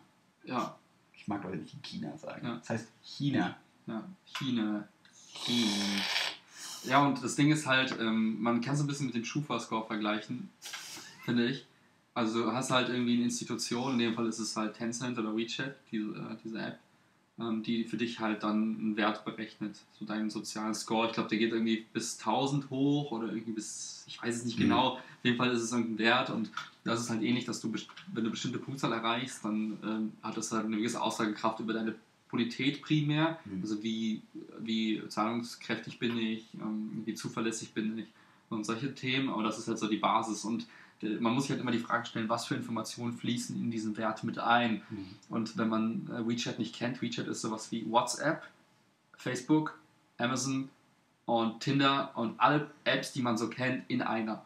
Das ist also eine, so eine Ultra-App, so ein, fast schon wie ein Betriebssystem in einem Mhm. Betriebssystem, wo du wirklich alles mitmachen kannst. Also du chattest, du kannst Flüge buchen, du kannst dein, deine Bankgeschäfte komplett dort abwickeln, Du Mhm. kannst einkaufen, du kannst einen Arzttermin machen, du kannst Dating, äh, ja, kreieren und so. Mhm. Also wirklich alles in dieser einen App. Das heißt, Mhm. die App hat extrem viele Informationen über, über jede Person, die diese App halt nutzt. Also von Zahlungsdaten, was halt die Banken uns haben bei uns hatten, äh, sowas wie Schufa und Bank zusammen haben die. Die haben sowas wie halt Facebook halt letztendlich ist halt auch mit integriert, weil die ganzen sozialen Interaktionen Mhm. machst du halt Ja, da Bilder schickst und die so. GIFs, du Mhm. machst die Videos, ne? also es ist Instagram letztendlich irgendwo auch, es ist dort auch mit abgebildet. Das heißt, dieser ganze Faktor, die, die kennen deinen Freundeskreis, ähm, die kennen dein Bankgeschäft, das habe ich gerade schon gesagt, und die kennen dein, dein, ja, was du deine kaufst, dein, dein, ne? dein Konsumverhalten, Genau, ne, durch das, ja. was du einkaufst. auch deine so. Versicherung, deine Finanzierung, also alles, was du dein Leben irgendwo äh, oder dich selbst so ein bisschen ausmacht, also nicht, nicht als Person, aber das drumherum quasi, also Mhm. ähm, wie bin ich abgesichert, wo wie viel Geld fließt, ähm, mit welchen Leuten gebe ich mich ab, wer ist mein Arbeitgeber und so, das wissen die halt alles über dich, streng genommen. Also und Chatverläufe. Ne? Genau. Also das heißt vielleicht doch sogar das, was dich ausmacht. Genau. Also, ne? Ne? Wenn du, Wie, wie viele Partner hast du, wie, wie frequentiert bist du halt mit anderen Leuten irgendwie in der Kiste oder halt eben auch nicht. Mhm. Auch das wissen die. Und grundsätzlich ist es erstmal gar nicht zu bewerten, aber wenn du dann hingehst und auf Basis dieser Information, und das ist halt nicht ganz klar für mich, welche Informationen dort alles einfließen, Mhm. ein, ein, eine Kennzahl berechnest, die dann quasi andere Leute nutzen können, um dich dann einzustufen, dann ist das extrem interessant erstmal, weil die Frage ist, wie entwickelt sich daraus die, die Gesellschaft drumherum? Und mit, ich glaube, mittlerweile ist es tatsächlich ähnlich wie in der Black Mirror-Folge, dass du hingehst und sagst, ich will äh, einen Kredit haben und dann wird als ein Wert auch dieser WeChat-Score Hm. theoretisch genommen. Und wenn der halt extrem schlecht ist, weil dein ganzer Freundeskreis einen schlechten Score hat, weil dann, dann wenn du die ganzen Buddies, deine Familie, mit denen du ein Mhm. Kontaktbuch hast, stell vor, die haben alle einen relativ geringen Wert, weil die alle auf dem Land wohnen und keine Kredite bekommen haben, weil die kein Einkommen haben, was auch immer. Mhm. Das ist als Beispiel, als Negativbeispiel. Dann kann das sein, dass es deinen Wert mit runterzieht. Und was ist, was ist die Konsequenz? Ja. Löschst du die Kontakte Ja, oder lässt du sie da? genau. um halt wie an deinen Kredit zu bekommen für deine Traumwohnung in der Innenstadt, weil du halt äh, ein erfolgreicher Mensch bist, der irgendwie gerade noch weiter irgendwie sich entwickeln möchte und gerne in Shenzhen wohnt oder Mhm. was auch immer. Also die Frage ist, was hat das für Konsequenzen? Ich glaube, das kann keiner abschätzen, das kann halt in alle Richtungen laufen und die, die Kann es das? Kann es nicht eigentlich nur in eine negative Richtung laufen? Also theoretisch, äh, klar, es ist wahrscheinlich, dass es dann irgendwie echt äh, anhand dieses Scores irgendwie zu Diskriminierung kommt. Mhm. Auf der anderen Seite ähm, ist es, macht es irgendwie eine gewisse Transparenz äh, greifbar, die du vorher Mhm. nicht hattest. Mhm. Und kann auch sein, dass die Leute gegen rebellieren und dass irgendwie alle, das im, es könnte zu dem Szenario, könntest du halt sagen, wir nutzen alle WeChat nicht mehr. Mhm. Aber es ist unwahrscheinlich, weil es einfach so Mhm. bequem ist und mittlerweile dein komplettes Leben eingenommen genau, hat. das ist ja das Ding das wieder. ist, ja, Das ist so wie damals, also nur, nur ganz kurz, dieses, ne, erst installieren alle WhatsApp auf ihrem Handy und dann kostet es einen Euro, dann müssen alle den Euro zahlen. Wir- Natürlich werden die alle zahlen, weil Leute abhängig geworden sind davon im Ja. Prinzip. Ne? Und so kannst du, genauso bindest du deine Leute, so nach dem Motto, ja, du möchtest den Flug buchen, hm, den kriegst du aber 20% günstiger, wenn du das über die WeChat-App buchst. Also, zack, buchst du darüber. Und schon wieder ist dann diese, dieser Datenstrom quasi wieder sichergestellt. Und dadurch machst du die Leute abhängig und dadurch erzeugst du aber dann eben auch diesen Druck. Also ich finde, wenn das alles sich nur um diese, diese Zahlungsverhalten und was kaufe ich und so drehen würde, dann würde ich noch sagen, okay, dann ist es ein bisschen wie Amazon, die dir auch irgendwelche ähm, auf dich zugeschnittenen Werbungssachen zuschneiden. Ist auch schon ein bisschen bedenklich, aber finde ich noch irgendwie im Rahmen mittlerweile, leider. Aber es ist irgendwie so ein Teil. Und ich sag mal, so personalisierte, perfekt personalisierte Werbung ist eigentlich auch cool. Wenn das dir quasi das vorschreibt, was du wirklich brauchst, ist ja nice. So sehe ich das. Können wir noch mal anders drüber sprechen. Aber ähm, was problematisch ist, finde ich immer dieser soziale Faktor. Wenn dann so wirklich dann so ein- mit einbezogen wird, hm, du kennst aber den und den, hm, das ist aber nicht so cool. Das ist ein bisschen wie in der Schule, so mobbingmäßig. Warum hängst du denn mit dem uncoolen Typen ab? Ja. Jetzt bist du auch uncool. Und denkst du so, hä, aber darüber sollten wir doch drüber weg sein. Vor allem passiert es nicht mehr auf der persönlichen Ebene, sondern auf der digitalen Ebene. Du kannst dich nicht rechtfertigen, sondern es wird einfach irgendwas undurchsichtig, wie du sagst, berechnet und du hast keinen Einfluss darauf. Du kannst nicht einfach mal sagen, okay, ich ändere jetzt diesen einen Faktor und sage, okay, ich werde jetzt alle meine Rechnungen bezahlen, ist dieser Score gut. Nein, sondern irgendwelche Sachen können passieren und auf einmal bist du im Arsch. Wenn es nur der Standortfaktor ist, wenn du sagst, du wohnst an irgendeiner Ecke, weil du da geboren wurdest und deswegen hast du verkackt. So. Und dann bist du, finde ich, das erste, was mir dann einfällt, ist Kastensystem, Indien und denkst so, okay, du bist eingeordnet nach was ich so Score. interessant finde, ist, du hast das gerade das Beispiel genannt, ähm, Mobbing in der Schule. Warum hängst du mit dem ab? Das heißt, die Information, die Information dass eine, eine Person irgendwie uncool ist Mhm. oder warum auch immer nicht gemocht wird, die ist in dem Kreis schon da und dann Mhm. wird auf Basis dieser Information irgendwie eine Person ausgeschlossen oder andere Leute werden ausgeschlossen, weil sie mit der Person irgendwie in Kontakt stehen. Mhm. Also ein Verhalten, was auch ohne WeChat schon da war und Mhm. leider da ist, wo wir sagen Okay. müssen, Menschen Mhm. sind behindert, so, Mhm. dass wir so einen Scheiß machen. Ja? Also echt so voll Mhm. Idioten irgendwo. Aber so sind wir halt. Wir, wir urteilen nach, nach Stereotypen auf Basis von, von äh, ja, wir machen uns das Leben ja irgendwo einfach. Ne? Wir Mhm. sehen Dinge und erkennen Muster und verknüpfen die und sagen, okay, das ist halt so, ja, Wie in Schubladen. in Schubladen, komplett. Und das, was du beschrieben hast, dieses, oh, da, wo, da kommt jemand halt aus äh, Köln-Bilderstöckchen, wo ich gelernt habe, dass das nicht so schön ist. Ja? Obwohl der Name echt schön ist. und der Name ist schön, dann ist man dann zu sagen, oh, das ist bestimmt ein komischer Kerl, weil wer wohnt denn schon da? Also auch was, was wir heute schon tun, ohne diese Technologie. Nur Mhm. das Schlimme ist, oder das Gruselige ist, uns wird halt der Spiegel vorgehalten irgendwo, Mhm. weil wir merken, fuck, es ist genau dasselbe Verhalten, das wir eigentlich am Tag legen, nur jetzt in einem viel größeren Umfang. Das heißt, Mhm. das, was wir eigentlich nicht können, ist, jede Person, die wir kennen, mit, also alle Informationen über die Person im Kopf halten und schön sortieren, kriegen wir kognitiv nicht gebacken. Mhm. Dafür sind wir einfach nicht gut genug, da haben wir Genau. nicht genug Rechenleistung in der Birne. Die App kann das wiederum. Mhm. Das heißt, das, was die App macht, ist das, was wir eigentlich auch in, insgeheim versuchen, ständig, Tag für Tag. Nur halt, Mhm. jetzt kann's, jetzt Mhm. passiert's halt. Das heißt, eigentlich ändert sie uns Menschen nicht, sondern bildet uns eigentlich nur ab auf einer Mhm. Ebene, wo wir selber plötzlich merken, das ist eigentlich gar nicht so geil, aber Mhm. insgeheim sind wir halt leider selbst so schon immer gewesen und werden es auch weiterhin sein. Und jetzt gruseln wir uns eigentlich vor uns selbst. Ja, Finde ich zu gewissen Ja, Grad. Auf jeden Fall würde ich hier voll zustimmen. Und ich finde, man merkt dabei, dass Vergessen vielleicht auch eine Gabe ist, also was Positives, so nach dem Motto, So wie chillen einfach mal. Ne? Exakt, ja. um den Rahmen zu schließen, sodass man sagt, ähm, vielleicht ist es gut, dass wir vergessen, dass ich jetzt nicht alle negativen Einflüsse, die ich mit einer Person verbinde, immer in meinem Kopf habe, sondern dass ich sagen kann, ich mag die Person, ich finde die total cool, weil die letzten zwei Wochen mit der Zeit, mit der war voll schön. Wenn immer in meinem Kopf jemand hämmern würde sagen, aber die Person ist scheiße, weil... 1965 hast du doch damals aber. Ne? Genau, dann willst du ja völlig irre werden. Und wie willst du denn dann auch Menschen mögen können, wenn du immer wieder diese Sachen im Kopf hast? Und wir können halt verdrängen, wir können vergessen. Und das kann WeChat nicht. Und das Also ist- könnte es also, lernen. könnte- Also ja, man genau, könnte hingehen und genau, sagen, okay. wieder, alle, all dieser Score wird halt irgendwie, alle, also nimmt halt irgendwie den letzten, letzten, das letzte Quartal deines, deines Seins Mhm. und auf der Basis wird kalkuliert. Und Aber das ist, ehrlich, das wird wahrscheinlich nicht passieren, weil. ne, ist, Ne, ne, also ich meine, das wäre eine Möglichkeit. Ja, ne, das stimmt, das zu sagen, okay, das System hat halt Vorteile manche, in Mhm. mancher Hinsicht, weil wenn ich jetzt zum Beispiel Vermieter wäre in einer Großstadt in China, dann ist es für mich einfacher, den Filterprozess zu machen. Absolut. Ich gucke mir Scores an und der mit dem besten Score kriegt halt die Wohnung. So. Ja. Ähm, ich finde halt irgendwie, man könnte halt sagen, okay, es ist grundsätzlich gar nicht verkehrt, die Technologie, Mhm. aber wir wollen sie humaner gestalten und Mhm. human bedeutet halt irgendwann mal auch zu vergessen und äh, Leuten halt auch mal ihre Last irgendwie abzunehmen, zu sagen, okay, du hast halt Scheiße gebaut, aber Scheiß drauf, ist jetzt, ne? Mhm. du hast daraus gelernt, du bist jetzt Mhm. reifer geworden, du hast dich entwickelt und das wollen wir auch mit reinzählen. Das heißt, also dieses, was wir Menschen eigentlich auch machen, Ja. äh, wahrscheinlich weil unsere Fähigkeiten einfach nicht da sind, aber äh, uns trotzdem irgendwie zu Menschen macht, weil wir auch vergeben können, das halt in, die, in dieses Programm reinzukriegen, halt diesen humanen Faktor des Vergebens und Vergessens. Wenn wir das da reinkriegen würden, wird es vielleicht wiederum ein bisschen erträglicher. Das habe ich nie drüber nachgedacht, das finde ich voll smart. Die Idee hatte ich vorher auch noch nie, das kam Mhm. jetzt quasi in dem Gespräch, aber das finde ich eine Chance halt zu sagen, das muss halt nicht in dieses Black Mirror-Ding laufen, wo es Mhm. halt komplett verkorkst ist, sondern man Mhm. könnte jetzt hingehen als, als Produktmensch, als Ingenieur, als Mhm. Designer in diesem Unternehmen, könnte sagen, okay, wir, bevor wir irgendwas erschaffen, worüber wir am Ende unglücklich sind, lass uns mal drüber nachdenken, wie können wir das System, was wir grundsätzlich nicht für falsch halten, Mhm. aber so anpassen, dass es am Ende uns allen hilft und nicht nur uns allen irgendwie, also Mhm. einer Klasse von Menschen schadet, den anderen wiederum nur hilft. Mhm. Und das halt wieder ein bisschen zu demokratisieren und zu sagen, wir bringen da irgendeine, irgendwas rein, was es halt irgendwie für alle Seiten irgendwie cool macht und nicht nur für die eine. Ja, weil wir sind uns ja auch einig, dass das menschliche System, also die, das Gesellschaftssystem, in dem wir gerade so ein bisschen leben, ist ja auch nicht nur positiv. Und deswegen wäre es ja auch vermessen zu sagen, okay, dieses WeChat-System ist nur positiv oder Ja. nur negativ.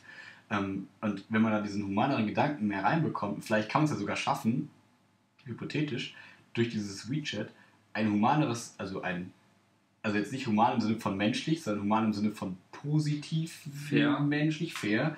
ähm, Gleich behandelt. Genau, sowas. dass man so ein System, äh, dass man doch, also dass man quasi ein faireres System als das menschlich geschaffene Gesellschaftssystem jetzt ähm, erzeugen kann, dadurch, dass eben Daten ausgewertet werden und man selber immer jeden Tag die Chance hat, das quasi zu verbessern und nicht einfach auf, von irgendwelchen Vorurteilen, weil ich Tattoos und ein Piercing habe oder so, Ja. habe ich jetzt nicht, aber also, Doch, Tattoo hast du. aber nicht bisschen. Äh, weil man so aussieht vielleicht, dann irgendwie den Job nicht bekommt, sondern weil du einfach, du hast einen guten Score, weil du gibst dir Mühe, du bist ein guter Arbeitnehmer, du hast gute Zeugnisse bekommen und deswegen kriegst du auch diesen Job. Und nicht, weil jetzt irgendeinem alten Sack dein Gesicht nicht Ja. gefällt. Das finde ich ganz Aber cool. halt, ich finde halt die, die, die Last zu tragen, zu entscheiden, Ja. wie das Produkt zu sein hat und dieses System zu sein, ist halt gigantisch. Absolut. Und muss ich halt der, der, auch so der Reichweite der, dieser Entscheidung bewusst sein. Mhm. Und ich finde es halt aber jetzt aus, wir haben ja, wie sind wir drauf gekommen? Die Frage war, sollen wir die nicht in unser Portfolio legen, die Mhm. Unternehmen? Ich finde es halt spannend, weil die haben sich in so eine Situation gebracht, wo sie A, sehr viel jetzt Gutes oder Schlechtes tun können, das liegt Mhm. im, Auge, im Auge des Betrachters, Mhm. aber nichtsdestotrotz, egal wie es sich jetzt weiterentwickelt, die Wahrscheinlichkeit, dass die Leute plötzlich sagen, ich finde alle WeChat und Alibaba so doof, weil es einfach zu groß und zu bequem und mein Leben ist dadurch irgendwie in Gefahr, halte ich eher für unrealistisch. Und Mhm. ich glaube auch, dass da halt ähm, irgendwie Potenzial drin steckt. Man kann es halt, es Mhm. kann leider ins eine oder ins andere rausschlagen. Auf jeden Fall wird es irgendwie, ich glaube, die Massen bewegen und auch viele, viel mitbewegen damit. Mhm. Also ich glaube, da werden viele Transaktionen weiterhin laufen, es wird sich auch weiterentwickeln. Ich glaube, die App wird reifer, besser, größer.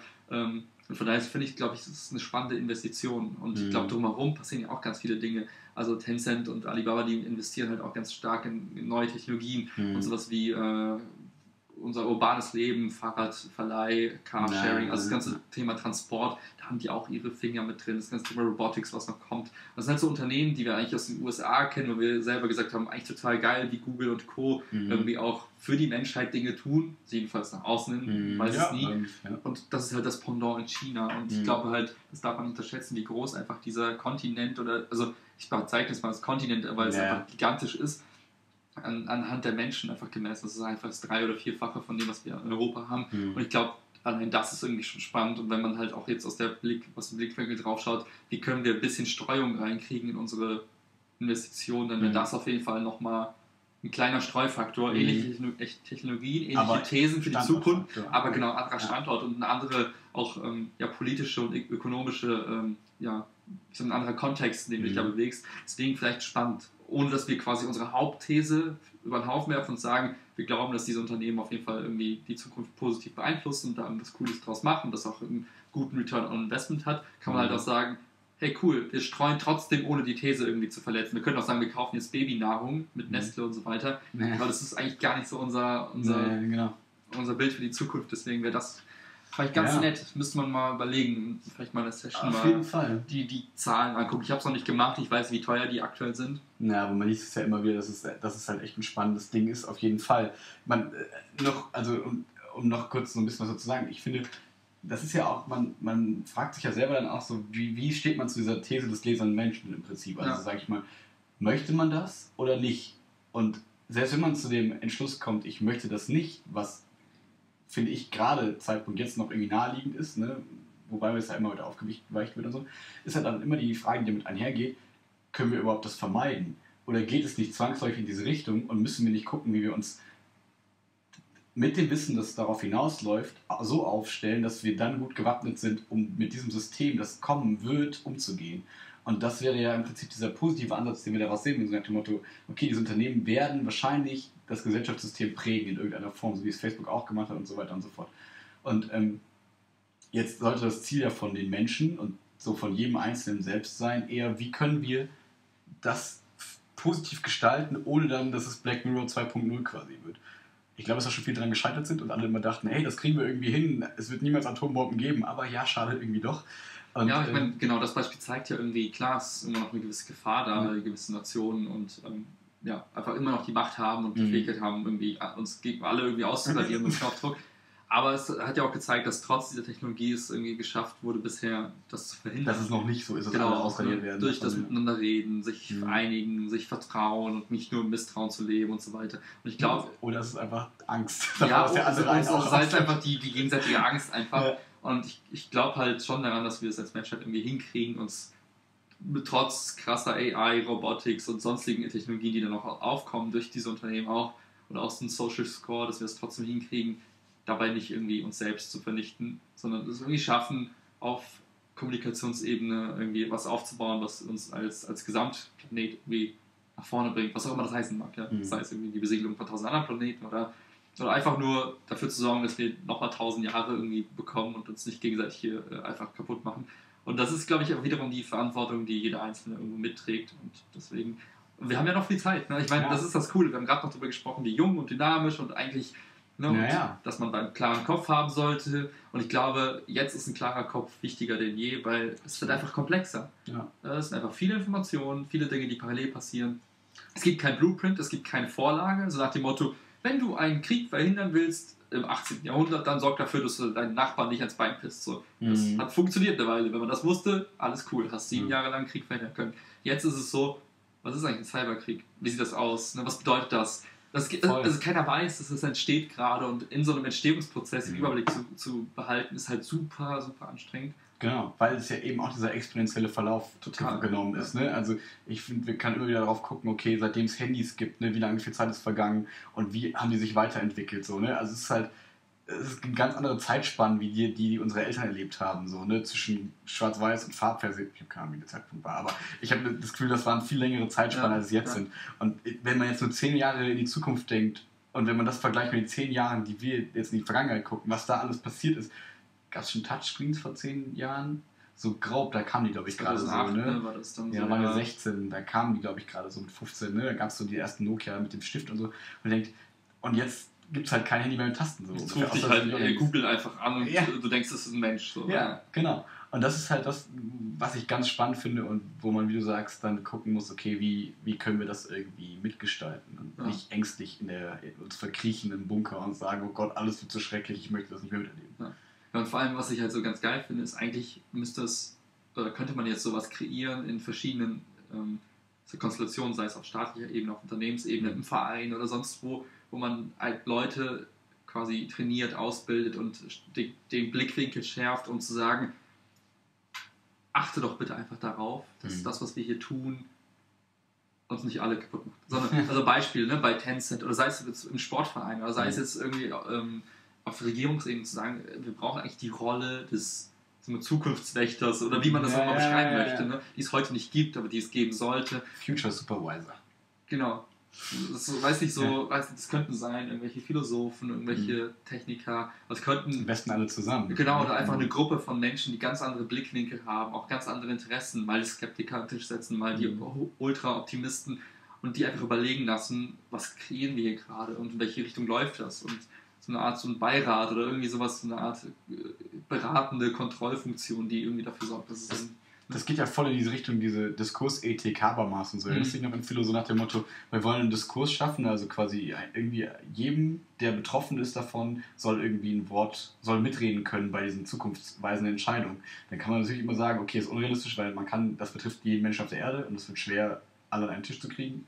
Ja, aber, Logistisch aber schwierig, jetzt mal ohne Scheiß, aber ganz kurz, Ja. wenn wir jetzt heute davon sprechen, dass wir es schaffen, quasi über jeden Menschen ganz viel Informationen zu sammeln und die quasi dann zu einem Score zu rechnen, Ja. dann haben wir auch die Technologie, um quasi jeden, jeden Menschen zu hören Mhm. und sowas sowas wie, hey, wir konnten einfach nicht tausend Interviews machen und Mhm. äh, von jedem die Nuancen irgendwie einfangen und dann mit, du kannst auch eigentlich so eine Art Demografiescore, äh, Mhm. äh, doch, Demo, Demokrat. nicht De- Demografie, Demokratie-Score. Ach, Demokratie sagst, meinst du, zu okay. sagen, okay, wir hören jetzt jeden Einzelnen, Mhm. du sprichst irgendwie deine Bedenken einfach auf Tape. In eine Sprachnachricht. Schick uns eine Sprachnachricht ab fünf Minuten oder so. Genau, Ja. und das wird halt, das ist wieder die Frage, inwiefern man dem, dem Prozess vertraut, aber wenn du sagst, du schaffst einen Prozess, der dann quasi alle Stimmen, alle 18 Millionen Stimmen, Mhm. jetzt zum Beispiel Deutschlands, irgendwie hört und daraus quasi eine Entscheidungsrichtung rausgibt, sowas wie eine Art Ja. Bundeskanzler, der von- eine AI sein könnte. Ja. Oder wenigstens einfach die Stimme des Volkes irgendwie versucht, Mhm. irgendwie re- transparent zu machen. Das wäre Mhm. jetzt schon mal ein Fortschritt, dass man sagen würde, wir nehmen das nicht nur, um irgendwie Kreditvergabe irgendwie zu kontrollieren, sondern auch um, um Stimmungsbilder einzufangen, Genau. Meinungen einzufangen. Das könnte man dafür halt genauso nutzen. Genau, quasi eine weltweite Doodle-Umfrage, so wenn du so Ja, willst. Ne? ja, quasi, genau. ne? Ganz einfach runtergebrochen. Das ist ja jetzt schon realistisch. Also Ja. du kannst ja jetzt einen Link generieren, den an jeden Menschen, okay, da müsste jeder Zugang zum Internet haben und so, Da ne? müsstest du Aber dafür sorgen, dass es nicht doppelt und dreifach gezählt wird. Genau. Aber das könnte man das hinkriegen. ist, ne? klingt realistisch zumindest. Ja. Klar, es klingt auch, als gäbe es da viele Angriffsstellen für Manipulationen und so weiter und so fort. Aber es ist zumindest ein realistisches, realistisches Szenario. Und das ist ja irgendwie cool, wenn alle, dann, wenn alle informiert werden über alle Geschehnisse der Welt und so, das ist schon interessant. Also, ne, deswegen, ich glaube, da Mhm. geht super viel einfach. Und ja. so, ich glaube, die Welt ist bunt in der Hinsicht. Also man kann echt viel machen. Also die Frage ist nur, worauf hat man Bock ne? und worauf stürzt man sich? Ja. Ja, ja, ja. ja, und leider, was halt dann so ein bisschen schade ist, ist halt immer, dann fragt man sich immer, wo, in welche Richtung fließt das Geld und wer bestimmt, in welche Richtung es geht. Und das ist dann leider meistens ja nicht, meist, oder oft sind es dann nicht die cleveren mit schönen, positiven Ideen, sondern es ist halt meistens eher das, okay, wie können wir Profit machen und so. Das ist ja schon so eine Richtung, die leider oft die Richtung, die, die, die, die Marschrichtung vorgibt. Aber meistens setzt sich, also ich habe das Gefühl, die anderen positiven Ideen sterben ja auch nicht weg unbedingt. Die kriegen vielleicht nicht die Aufmerksamkeit, aber trotzdem sind sie da und ich glaube, dass das schon wichtig ist. Ja. Ja, es ist halt die Kunst, irgendwie aus so einer Idee des Traumtänzers irgendwie eine umsetzbare Sache zu machen Genau. und dann auch einen Fahrplan dafür zu zeichnen. Ich glaube, dann kriegst du auch Geld. Also aktuell fließt so viel Geld irgendwie, ähm, weil es einfach Nullzinspolitik ist. Die Leute wissen nicht, die ganzen großen Investoren wissen Mhm. nicht, wohin sie ihr Geld tun sollen. Ja. Wenn sie es auf dem Konto lassen, wenn sie abgestraft. Mhm. Das heißt, die Bereitschaft, Geld wegzugeben, ist höher ist als jemals zuvor wahrscheinlich. Jedes ne? große Ja. Unternehmen hat sein Accelerator Startup Programm. Mhm. Das heißt, egal wo du hinblickst, du kannst überall hingehen und sagen, liebe BMW Group, liebe Bayersdorf Group, liebe Henkel Group, wie auch immer sie heißen, ich brauche, ich habe eine coole Idee, die würde euch Mhm. helfen. Auch die Bundesregierung vergibt Geld ohne Ende. Das Land NRW hat riesen Startup-Programme. Du Mhm. kannst die 100.000 Euro für eine Idee und dann kannst du Selma.idee. Idee. Also, was ich damit sagen will, es gibt unendlich viele Geldquellen. Ja. Klar, die Arbeit wird dir niemand abnehmen, hinzugehen und zu sagen, ich habe eine Idee und ich überlege, wie ich die realistischerweise umsetzen kann. Das ist Mhm. halt verdammt viel Arbeit und ist aufwendig und kostet dich Zeit und Nerven. Mhm. Aber die Frage, die man sich dann stellen muss, ist, will ich das? Ist mir das wichtig? Wenn ja, dann gibt es Möglichkeiten. Kannst du keine Ausrede finden, so nach dem Motto, oh, ich habe die beste Idee der Welt gehabt, aber das ging nicht. Ja. Also da fehlt mir echt jede, jede, jedes Verständnis für. Also es gibt Mhm. unendlich viel Geld, Mhm. wenn du es halt richtig machst. Und Ja, klar, genau. kannst du sagen, ja, meine Idee kam nicht an, dann war die Idee vielleicht auch scheiße. Also, oder musst Oder halt du dran musst arbeiten. vielleicht anders verkaufen. Genau, du musst ja. halt dran arbeiten. Vielleicht hast du in der Umsetzungsplanung halt einfach Fehler gemacht. Mhm. Ne? Gerade bei solchen Themen es gibt es keinen Klar. Fahrplan. Du musst ihn selbst kreieren und Mhm. da musst du halt iterieren und immer wieder nachbessern und nachbessern und nachbessern. Und deswegen, ähm, ja, eigentlich ist es geil. Also ich freue mich Mhm. total darauf, weil ich mir auch denke, das, was wir hier tun mit dem Podcast, das gibt halt auch nochmal so einen gewissen, so eine Aufbruchsstimmung. So Mhm. doof es klingt, wir gucken jetzt nach Stickern, wir gucken jetzt nach Mhm. Webseiten, wir gucken uns an, wie funktioniert das denn jetzt in diesen fucking E-Mail-Newslettern und so. Wie kriegen wir bessere Statistiken hin? Das sind Mhm. alles so Dinge, die wir uns nur fragen, weil wir mit irgendwas angefangen haben, was eigentlich bedeutungslos ist in vielen, vielerlei Hinsicht, aber Ja. für uns vielleicht gerade nicht, Ja. weil das gibt uns irgendwie so ein paar so, so ein paar Fühler und wir strecken die raus und testen so ein paar Sachen an und Ja. keine Ahnung, was sich daraus entwickelt, vielleicht gar nichts, aber vielleicht auch schon. Vielleicht auch sehr coole T-Shirts. Mindestens das. Mindestens das, das, genau. Von daher, äh, ja. Nice. Nice. Wir sind bei 1 Stunde 11. Ist doch, ist doch perfekt eigentlich. guter Cut irgendwo. Ne? Ja. Lass noch einen zweiten Song auf die Playlist packen. Ich habe keinen. Okay, mir fällt einer ein. den Druck. Mir fällt einer ein. Okay, dann. Du erzähl noch was kurz. Ja, ähm, ich glaube, das war, also gefühlsmäßig, muss ich zugeben, war das mit einer der geilsten Sessions Voll. gerade, weil irgendwie habe ich das Gefühl, inhaltlich ist viel dabei gewesen. Ich glaube, viele Leute, die sich das anhören würden, würden sagen, hey, die eine Stelle fand ich ganz smart, da konnte ich was rausnehmen. Ich finde, es hat einen roten Faden, Mhm. irgendwie. Obwohl es so zwei große Parts sind, mit einer kleinen Unterbrechung, aber ich finde, aus beiden Parts kann man irgendwie so Parallelen irgendwie nochmal oder irgendwelche Verbindungen irgendwie herziehen. Ähm, von daher, ich bin echt zufrieden. Ja. Ähm, ja. Ich glaube, ich nehme einfach Musik, die ich gerne höre gerade. Das ist äh, Treppmann. Grauer Beton. Playlist. Passt gut wegen China und so große Städte, grauer Beton. Mein, Alter, wir sollten echt mal nach China fliegen. klein. Oh, lass mal machen. Ich wollte immer mit dir noch mal nach Moskau. Ja, das würde ich auch gerne mal Das würden wir mal machen. Lass mal angucken, vielleicht suchen wir danach. Was macht es mein Hauptmann, was heute erzählt hat, dass wir einfach reisen gehen, dass, alles, dass alle Säulen abreißen? Das wäre okay. Das wäre okay, das einfach zu beschließen, weil, man, Ja. weil wir einen Grund dafür hätten. Wir würden sagen, ey, wir haben so ein krasses Bild davon, lass uns diesen Social Course selbst mal spüren für ein paar Monate. Ja. Lass uns mal ein Projekt in China. Beijing. Dann wird man wie bei Tokyo Drift. Das ist Japan. Achso, scheiße. Ja. Ah. Nein, Kann ich das rausschneiden? Unangenehm. so weit hat eh keiner, keine Sorge. Okay, cool. Alles klar. Trettmann, graue Beton, was geht ab? Playlist der Woche. Peace out, A-Town.